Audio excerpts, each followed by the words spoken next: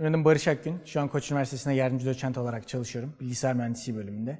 Artık bize doktor e, öğretim görevlisi diyorlar. Araştırma konum robotik, e, özellikle yapay zekanın ve yapay öğrenmenin robotlara uygulanması ve insan-robot etkileşimi. Ben bu yola aslında makine mühendisliğinden çıktım. ODTÜ makine mühendisliğinde okudum. Oradan mekatronik yan dalı yaptım. Yüksek lisansımı ODTÜ bilgisayardan yapıp e, doktora için Amerika'ya gittim. Bu yol esnasında daha çok bilgisayarı programlamaya ve yapay öğrenmeye yöneldim. Doktoramı Georgia Teknoloji Enstitüsü'nde robotik alanında insan robot etkileşimi ve insanlardan öğrenen e, ve kendi kendine öğrenen robotlar üstüne e, bitirdikten sonra kısa süre e, Texas Austin'de bir doktora sonrası araştırma pozisyonum oldu. Ondan sonra da Eylül 2016'da Koç Üniversitesi'nde başladım. Şimdi de öğrencilerimle yine insan-robot etkileşimi, robotik için yapay öğrenme ve diğer e, yapay öğrenme uygulamaları e, konusunda araştırmalar sürdürüyorum. Kampa gelince e, çok mutlu oldum açıkçası böyle bir organizasyonun yapılması için ve sanıyorum ilk defa yapıyorsunuz. Çok başarılı buldum. Gerek kalınacak yerler olsun, gerek aktiviteler olsun, gerek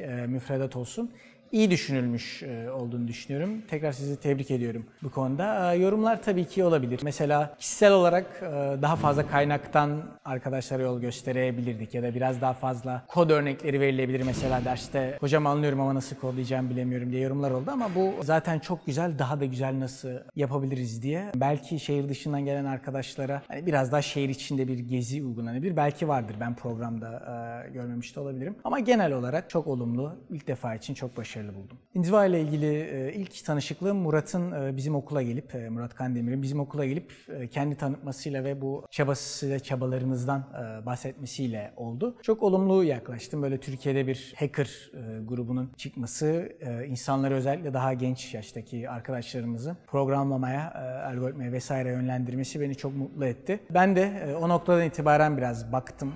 Yerinizi çok sevdim. Endüstriyel yerlerin bu tarz kullanımı hep hoşuma gitmişti etmiştir. Çok fazla ama sizi takip edemedim ondan sonra. Ta ki Murat tekrar bana bu yaz okulundan, bu yarışmadan bahsedene kadar. Bahsettikten sonra da e, zaten biraz daha baktım. Profesyonelce yaklaştığınızı gördüm. Ama bundan sonra daha fazla takip etmeye çalışacağım. Zaten siz de bana herhalde ara ara e, haber gönderirsiniz.